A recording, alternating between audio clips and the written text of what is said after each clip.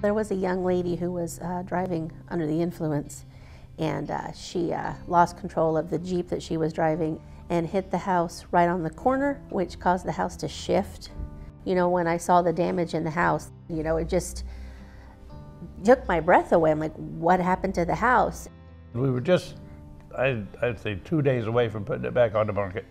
The insurance company, they misled us a great deal, you know, in the beginning. We wanted to know, were we even going to be able to sell the house again? The Stone Law Office was amazing.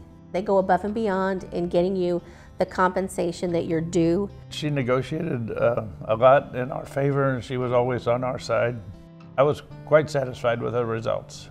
I know that she truly and sincerely cared about how we were feeling in this case and how it was affecting us and not just the bottom dollar. We felt like we were her only client. We really did. You know, like that she was there just to take care of us. She took a lot of stress off of both of us.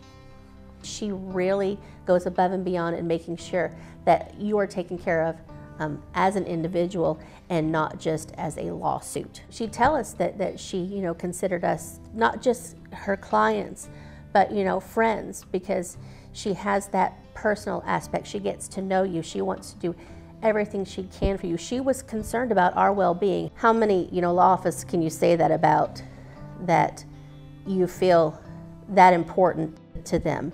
Somebody has to be on your side and make you feel like it's all going to be okay in the end. And that's how we feel now. It's all okay.